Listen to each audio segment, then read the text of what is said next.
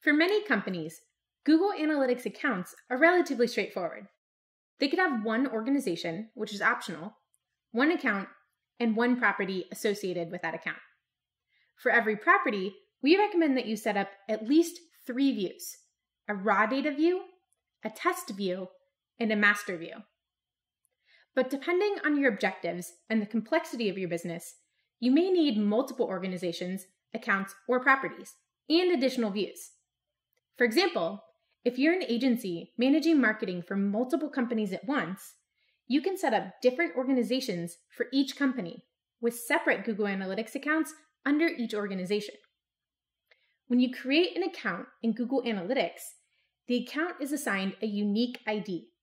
You can see this ID in the Analytics tracking code.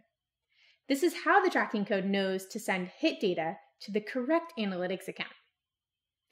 You don't need to sign in separately for multiple analytics organizations or accounts. You can simply select any of the organizations or accounts by using the account selector. You can also select accounts that belong to your current organization in the admin area. To better reflect how your business is organized, you can set up multiple properties under each analytics account. For example, the Google Merchandise Store may want to view data from their website and data from their mobile app in separate properties to analyze each dataset independently. We recommend tracking each company's website, mobile app, or other device in a separate property. If you have two related websites with different URLs or subdomains that you want to track in a single property, you can set up what's called cross-domain tracking. Cross-domain tracking will recognize when a user navigates between related websites in the same session. This is also known as site linking. To set up cross-domain tracking, you'll need to modify the analytics tracking code on every page of every site you want to track. Google Tag Manager can make updating that code a lot easier.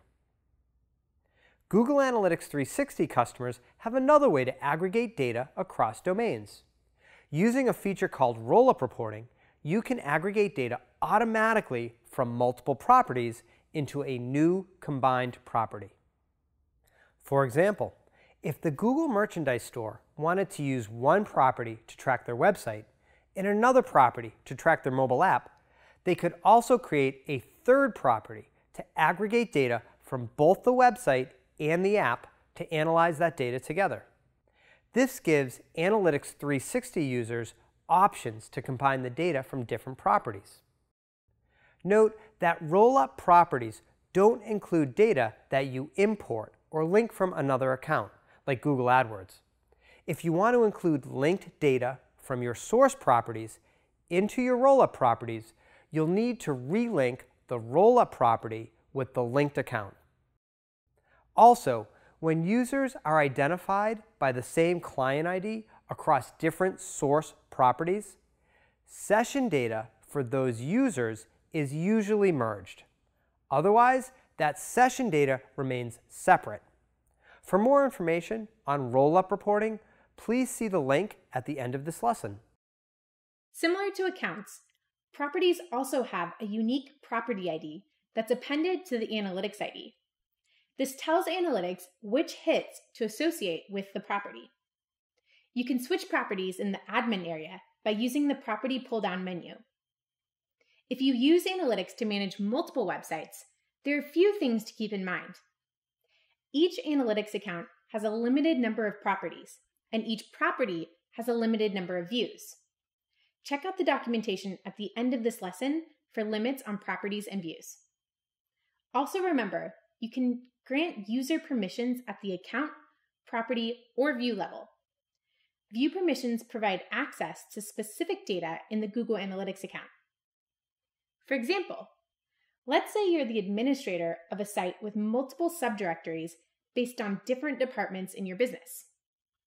You can create different views for each department using filters and then grant access to each view for the members of those departments.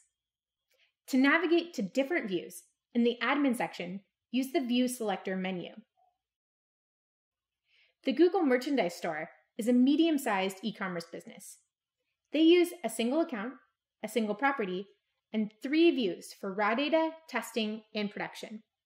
But you'll need to decide how to set up your organization's accounts, properties, and views based on the individual needs of your business.